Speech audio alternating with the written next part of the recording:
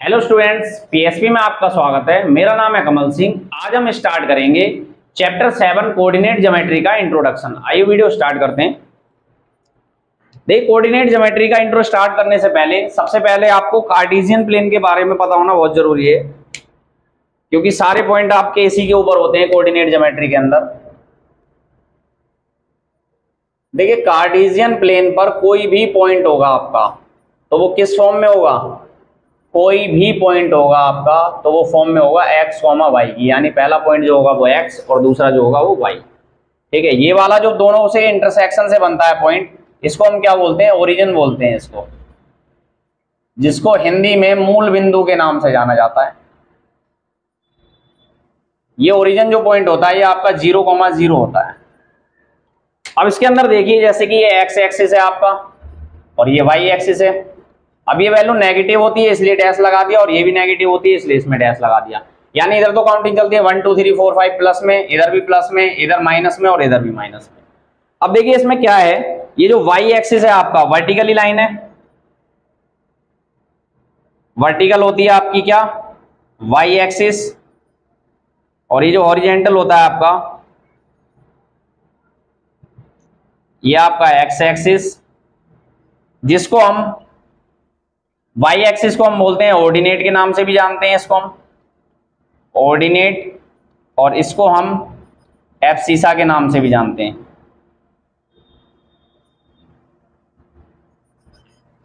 देखिए oriental line होती है आपकी एक्स एक्सिस जिसको हम एफ़ सीसा बोलते हैं, और वर्टिकली लाइन होती है आपकी वाई एक्सिस जिसको हम ऑर्डिनेट के नाम से जानते हैं। जिनको हिंदी में इसको बोलते हैं हम छैती जिसको बोलते हैं ऊर्ध्वाधर, ठीक है? और हिंदी में इसके नाम होते हैं इसको बोलते हैं हम कोटी और इसको बोलते हैं हम भोज। तो ये एक्सेस आपको पता चल गए होंगे कौन सी आपके कौन से ऑर्डिनेट है, कौन से एफ़ सीसा है। अब इसमें देखिए जो जहाँ पर भी ये इंटरसेक्ट करते हैं तो ये चार पार्ट में डिवाइड करती है। पहला क्वाड्रेंट होता है आपका, ये सेकंड क्वाड्रेंट ये आपका थर्ड क्वाड्रेंट ये आपका फोर्थ क्वाड्रेंट होता है। अब इनके अंदर क्या देखो, दोनों वैल्यू पॉजिटिव है। यानी एक्स और वाई की दोनों वैल्यू आपकी पॉजिटिव है। इसके अंदर एक्स नेगेटिव हो गया आपका और वाई देखिए पॉजिटिव है। इसके अंदर आपका क्या है, देखिए एक्स नेगेटिव और वाई पॉजिटिव नहीं वाई भी नेगेटिव है इसके अंदर, देखो एक्स भी नेगेटिव और वाई भी नेगेटिव दोनों नेगेटिव हो गए आपके थर्ड क्वाड्रेंट में। फोर्थ में क्या है आपका एक्स पॉजिटिव है और वाई आपका क्या हो जाएगा नेगेटिव हो जाएगा। तो इसके अंदर देखो, कोई भी पॉइंट है सपोज़ करो, कोई पॉइंट यहाँ पर दे रखा है आपको। एक पॉइंट यहाँ पर है तो उसके दो पॉइंट ज़रूर होंगे, जैसे कि यहाँ पर है, मान लो सपोज़ करो एक्स पर एट है और वाई पर टू है तो एट कोमा टू हो गया। ये पॉइंट मान लो एट कोमा टू है आपका। एक पॉइंट को यहाँ पर दे रखा है सपोज़ करो। जैसे कि एक्स पर एक है और वाई पर तीन एक्स पर माइनस का एक होएगा यहाँ पर, और वाई पे माइनस का तीन हो जाएगा। तो एक पॉइंट ये दे दिया। ये मान लो आपका पॉइंट है बी ए और ये है आपका पॉइंट बी अब इन दोनों के बीच का आपको डिस्टेंस निकालना है। तो ये ही क्या होते हैं? आपके ये कोऑर्डिनेट दे रखे हैं इन दोनों पॉइंट के। अब इनका आपको क्या करना है? डिस्टेंस फाइंड आउट करना है। तो देखिए, हमारा जो डिस्टेंस फॉर्मूला होता है, सबसे पहला फॉर्मूला हमारा यही है दो पॉइंट के बीच में डिस्टेंस निकालने का फॉर्मूला तो डिस्टेंस फॉर्मूला हमारा क्या होता है? डिस्टेंस फॉर्मूला सबसे पहला यही है आपका, दूरी सूत्र बोलते हैं जिसको हम। तो डिस्टेंस फॉर्मूला क्या बोलता है? हमारा अगर दो पॉइंट है आपके पास एक्स वाई की फॉर्म में होंगे, हमने पहला एक्स वन वाई वन मान लिया, दूसरे को एक्स टू वाई टू मान लिया नोट कर दिया, क्योंकि दोनों ही एक्स वाई की फॉर्म में होंगे। अब आपको इन दोनों के बीच का डिस्टेंस निकालना है कि ये कितनी दूरी है। तो आप क्या करेंगे, ये भी फाइंड आउट करेंगे। तो ये होता है अंडर रूट में difference of abscissa plus different difference of ordinate इसका भी होल स्क्वायर ये आपका डिस्टेंस फॉर्मूला होता है डिफरेंस ऑफ़ एफसीसा यानी एक्स एक्सिस का डिफरेंस अब डिफरेंस कैसे पता चलेगा आपको? यानी ये फाइनली क्या बन गया आपका? ये बन गया और ये भी आपका पाइथागोरस थ्योरम से प्रूव हुआ हुआ है. अगर आपको इनकी ज़रूरत होगी तो कमेंट बॉक्स में कमेंट करके बता देना. मैं इनके आपको डेरिवेशन भी बता दूँगा कि ये फॉर्मूले बने कैसे हैं। तो डिफरेंस ऑफ़ एफ़ सी सा यानी कि X two minus X one का whole square plus Y two minus Y one का होल स्क्वायर अब ये ज़रूरी नहीं है कि आप एक्स टू में से ही एक्स वन को घटाओगे या वाई टू में से ही वाई वन को। किसी भी एक डिफरेंस का मतलब तो ये अगर इधर से माइनस कर रहे हो एक्स में से एक्स वाई में से वाई एक्स में से एक्स वाई में से वाई ये किसी से भी कर सकते हो आप। एक्स में से एक्स माइनस करना वाई में से वाई से करना अगर इससे कर रहे हो तो दोनों पॉइंट इसी से करेंगे हम। और इससे कर रहे हैं तो दोनों पॉइंट पहले यही वाले लिखेंगे। तो ये क्या होता है आपका? डिस्टेंस फॉर्मूला होता है। सेकंड आता है देखिए आपका। सेकंड आपका निकलता है सेक्शन फॉर्मूला अब देखिए सेक्शन फॉर्मूला क्या होता है?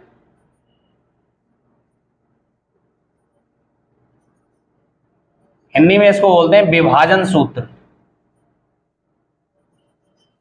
विभाजन सूत्र। और इसको बोलते हैं दूरी सूत्र। दो पॉइंट के बीच का डिस्टेंस निकालने का फॉर्मूला होता है। और ये सेक्शन फॉर्मूला क्या है सेक्शन फॉर्मूला अगर आपको एक पॉइंट दे रखा है ए दो पॉइंट दे रखे हैं आपको, और कोई एक पॉइंट आपको इंटरनली इन दोनों पॉइंट्स की डिस्टेंस को डिवाइड कर रहा है। सपोज़ करो वो पॉइंट आपका पी है, वो आपको एक्स वाई में डिवाइड कर रहा है तो आपका कुछ रेसो भी होगा यहाँ पर। एम वन एम टू ये रेसो क्या होता है? रेसो को समझ लो पहले। जैसे कि मान लो यहाँ से यहाँ तक का आपका डिफरेंस आया डिस्टेंस आया आपका यहाँ से यहाँ तक का तीस। और यहाँ से यहाँ तक का डिस्टेंस आया आपका पचास। ठीक है? अब ये कॉमन वैल्यू दस से कट रहे हैं दोनों। दस से कट करोगे थ्री और ये फाइव यानी जो रेशो है, ये थ्री और फाइव ये डिस्टेंस नहीं है इनका। ये कॉमन वैल्यू से आपने इसको कट कर दिया है, वो रेशो है आपका। तो इसमें क्या करते हैं हम? देखो, हमारे पास यहाँ पर एक्स की मतलब ये तीन तो पॉइंट हो गए, एक रेशो हो गया। और ऐसे यहाँ पर वाई के तीन पॉइंट हो गए आपके। वाई के भी तीन पॉइंट हैं आपके, और एक आपका रेस हो गया। तो इन चारों में से कुछ भी मिस होगा तो हम इस फॉर्मूले से निकाल सकते हैं। जैसे कि एक्स क्या होता है? M one X two plus M two X one upon में M one plus M two इन फॉर्मूलेस के मैं आपको डेरिवेशन भी करा दूँगा एग्ज़ाम टाइम पर, जब आपको नीड होगी। अभी आपको बस इसको जस्ट समझना है ये फॉर्मूले क्या हैं और उसको अप्लाई करना है एक्सरसाइज में। वाई क्या है आपका देखो? M one Y two plus M two Y one upon में M one plus M two तो ये आपको x, यानी कि देखो अगर इसमें रेशो भी गायब होंगे तो आपको तीनों पॉइंट दिए होंगे तो ये एम वन एम टू निकल जाएगा। अगर कोई पॉइंट गायब है तब भी इससे निकल जाएगा। ये क्या है आपका? सेक्शन फॉर्मूला है। अब देखिए एक चीज़ आती है इसमें। Condition for collinear condition for collinear अब ये कॉलिनियर क्या होता है? इसको हिंदी में बोलते हैं हम संरेखी संरेखी बोलते हैं इसको। तो कॉलिनियर की कंडीशन ये है कि आपके तीनों पॉइंट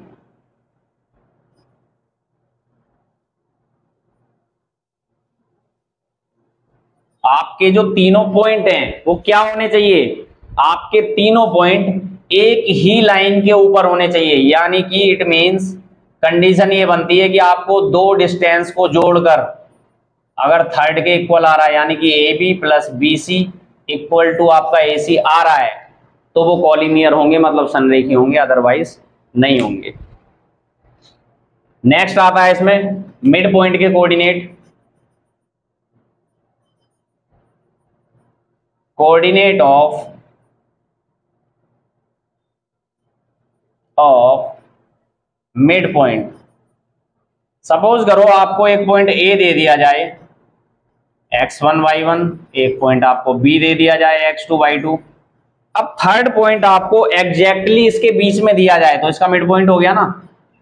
ए और बी का मिड पॉइंट हो गया, वो क्या होगा आपका एक्स कॉमा वाई तो मिड पॉइंट है मतलब इसका रेशो कितना हो गया? मिड पॉइंट मतलब अगर यहाँ पर दस है तो यहाँ पर भी दस है, दस से कट करोगे वन रेशो वन यहाँ पर 25 है, यहाँ पर भी 25 है 25 से कट कर दोगे वन रेसो वन मतलब मिड पॉइंट है तो आपका जो रेसो है वन रेसो वन आया। तो ये कहीं से नहीं बना, यहीं से बना ये फॉर्मूला इसमें आप इसकी जगह वन रख देंगे, यहाँ पर भी वन रख देंगे। रेशो वन हो गए ना तो X one plus X two और ये वन प्लस वन कितना हो गया? Two X one plus X two upon में टू एक्स कैसे निकलेगा आपका? X one plus X two upon में टू, ये तो एक्स निकालने का फॉर्मूला हो गया। वाई कैसे निकलेगा आपका? Y one plus Y two upon में टू। यानी कि x तो आप इस तरह से निकाल लेंगे x1 one plus X two upon में टू, और y कैसे निकालेंगे? Y one plus Y two upon में टू। तो देखिए, इसमें हमने ये देख लिया कि डिस्टेंस फॉर्मूला क्या होता है सेक्शन फॉर्मूला क्या होता है कॉलिनियर की कंडीशन क्या होती है आपकी मिड पॉइंट के कोऑर्डिनेट निकालने हो तो आपको कैसे निकालेंगे? आइए नेक्स्ट पेज पर देखते हैं हम कुछ क्वाड्रिलेटरल्स और ट्रायंगल जो आपको प्रूव करने के लिए आते हैं। आइए नेक्स्ट देखिए इसमें टाइप्स ऑफ़ क्वाड्रिलेटरल क्योंकि आपको क्वाड्रिलेटरल प्रूफ करने के लिए आएँगे कि ये रेक्टेंगल है प्रूफ करो। यहाँ पर एंगल तो यूज़ करने नहीं, आपको साइड ही करनी है। तो हम देख लेते हैं टाइप्स ऑफ़ क्वाड्रिलेटरल देखिए, सबसे फ़र्स्ट आता है इसमें हमारा स्क्वायर। यानी कि हिंदी में इसको बोलते हैं वर्ग। अब देखिए जो स्क्वायर होता है आपका, इसकी चारों साइड इक्वल होती हैं, आपको पता है?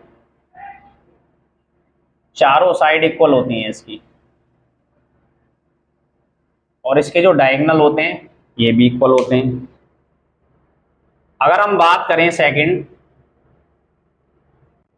इसी के सिमिलर रोमबस की, यानी कि सम चतुर्भुज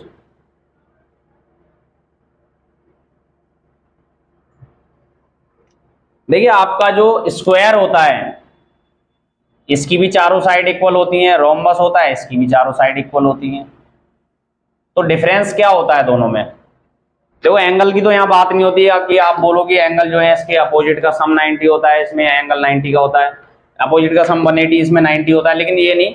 आपको क्या करना है? यहाँ पर बस साइड से पता लगाना आप कोऑर्डिनेट ज्योमेट्री में कैसे प्रूव करोगे? अगर आपको चार पॉइंट दे दिए जाएँ कि ये रोमबस है या नहीं है, या विच टाइप ऑफ़ क्वाड्रिलेटरल आप कैसे प्रूव करोगे? तो आपको ये ध्यान रखना है, जैसे स्क्वायर है। इसके अंदर क्या होता है? All sides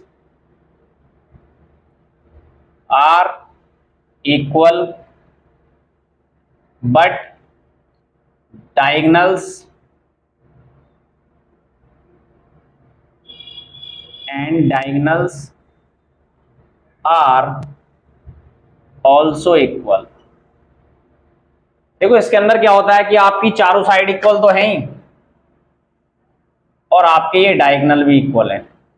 चारों साइड भी इक्वल आएँगी A B equal to B C equal to C D equal to A D और A C equal to B D आएगा। डायगनल्स भी इक्वल आएँगे।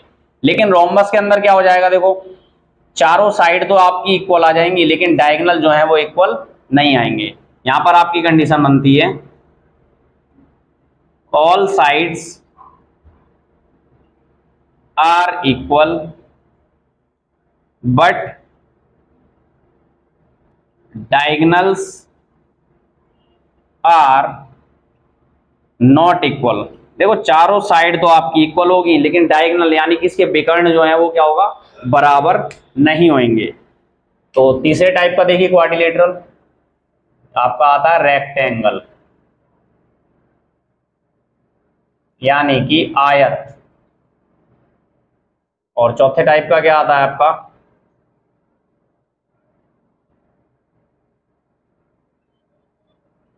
पैरेललोग्राम यानी कि समांतर चतुर्भुज. समांतर चतुर्भुज. अब देखिए दोनों में क्या डिफरेंस होता है? रेक्टेंगल जो है, इसकी अपोजिट साइड इक्वल होती है। और जो आपका पैरेललोग्राम है पैरेललोग्राम की भी क्या है? अपोजिट साइड इक्वल होंगी। ये कंडीशन दोनों में अप्लाई होती है। ठीक है? यानी कि अगर हम बात करें रेक्टेंगल की तो ए बी इक्वल टू आपका होगा बी सी के और ए डी इक्वल टू होगा आपका किसके? A B equal to C D A B equal to C D opposite side क्या ए बी और सी डी और ए डी और बी सी ये भी इक्वल होंगे आपस में. And diagonal A C equal to होगा बी डी के. डायगनल भी क्या होंगे आपके? इक्वल होंगे इसमें. लेकिन इसके अंदर opposite sides are equal but diagonals are not equal opposite side तो इक्वल होंगी, यानी कि A B equal to C D A D equal to B C A D equal to B C लेकिन इसमें नॉट इक्वल आना चाहिए A C not equal to B D suppose करो कोई आपको चार कोऑर्डिनेट दे दिए जाएँ और आपको पैरेललोग्राम प्रूव करना है। तो आप उसकी अपोजिट साइड तो इक्वल कर देंगे और जब डायगोनल निकालेंगे, वो इक्वल नहीं आएँगे। आपको इसी तरह से कंडीशन लिखनी है। लैंग्वेज में नहीं लिखनी है आपको इसी तरह से लिखनी है। बाद में शो करना है आपको। पहले कंडीशन तो ये निकाल के दिखाओगे ना बे B B C C D A D फिर चेक करोगे अपोजिट साइड इक्वल आ रही है तो ठीक है पैरेललोग्राम हो गया। डायगोनल भी इक्वल आ गए तो आपका रेक्टेंगल हो जाएगा। तो ये क्या है? ये आपके कुछ टाइप्स ऑफ़ क्वाड्रिलेटरल हैं, जो आपको यहाँ पर ज़रूरत पड़ेगी। मैंने आपको बता दिए अब आपके कुछ आते हैं types of triangle types of triangle अब देखिए, दो तीन तरह के ट्राइंगल भी होते हैं, जैसे आपके, एक हो गया इक्विलेटरल ट्राइंगल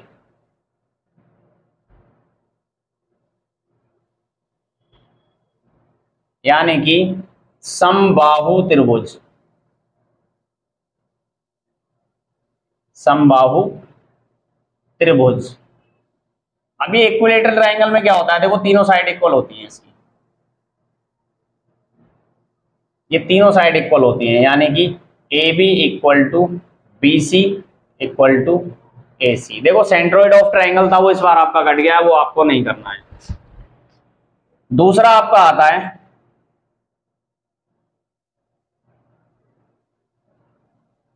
आइसोसेल्स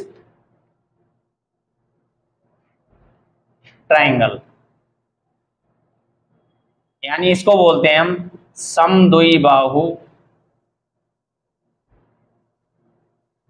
त्रिभुज देखो आइसोसेल्स ट्राइंगल करने के लिए आएगा तो आपको ट्राइंगल में क्या करना है? कोई भी कोई भी दो साइड इक्वल आ जाए A B equal to B C A B equal to A C ठीक है? या A C equal to B C any two sides are equal any two sides are equal कोई भी दो साइड आपकी equal आ जाए तो आपका क्या हो जाएगा? आइसोसेल्स ट्राइंगल आ जाएगा। आपको तीन पॉइंट दे दिया, अगर आपसे पूछ रहा है कि चेक करो आइसोसेल्स ट्राइंगल है या नहीं है तो आप क्या करेंगे? पहले तीनों इसकी साइड्स निकालेंगे ए बी बी सी ए सी और ये किससे निकालेंगे आप? ये निकालेंगे आप किससे? अपने डिस्टेंस फॉर्मूले से निकालेंगे। निकालने के बाद आपको देखना है, अगर साइड इक्वल आ गई, तीनों इक्वल आ गई तो इक्विलेटरल हो जाएगा, दो कोई सी भी इक्वल आ गई तो आपका आइसोसेल्स ट्राइंगल हो जाएगा। थर्ड आपका आता है राइट एंगल ट्राइंगल ये भी पूछ सकता है आपसे। राइट एंगल ट्राइंगल यानी कि समकोण त्रिभुज। समकोण त्रिभुज। अब ये समकोण त्रिभुज में क्या होता है देखो आपका। 90 डिग्री का एंगल बनेगा, ये तो पता ही है आपको। इसमें क्या होगा 90 के सामने वाला हमारा हाइपोटेनियस होता है, ये बेस होता है, ये परपेंडिकुलर तो इसमें सिंपली अगर आपका परपेंडिकुलर का स्क्वायर प्लस बेस का स्क्वायर इक्वल टू आ जाता है हाइपोटेनियस का स्क्वायर मतलब कि दो शॉर्टेस्ट साइड का स्क्वायर लॉन्गर साइड के स्क्वायर के इक्वल आ जाता है, दो साइटर शॉर्टर साइड के स्क्वायर का सम स्क्वायर का सम दो शॉर्टर साइड के स्क्वायर का सम लॉन्गर साइड के स्क्वायर के इक्वल अगर आपका आ जाता है तो वो क्या हो जाएगा आपका? राइट एंगल ट्राइंगल हो जाएगा। और आपको इसमें एक चीज़ और ध्यान रखनी है।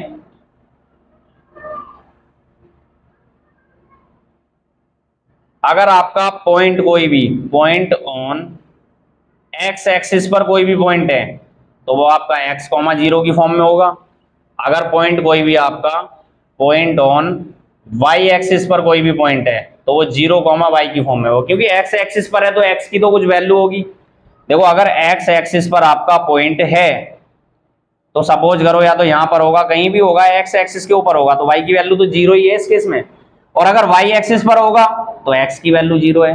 तो आपको ये भी ध्यान रखना है कि एक्स एक्सिस पर कोई भी पॉइंट होता है, वो एक्स कॉमा ज़ीरो की फॉर्म में होता है वाई एक्सिस पर कोई पॉइंट होता है तो वो ज़ीरो कॉमा वाई की फॉर्म में होता है। तो ये चैप्टर सेवन का इंट्रोडक्शन हमारा यहीं पर खत्म होता है। नेक्स्ट वीडियो में हम इसकी एक्सरसाइज स्टार्ट करेंगे 7.1 वीडियो अगर पसंद आई हो तो लाइक एंड सब्सक्राइब करना ना भूलें और अपने दोस्तों के साथ ज़्यादा से ज़्यादा शेयर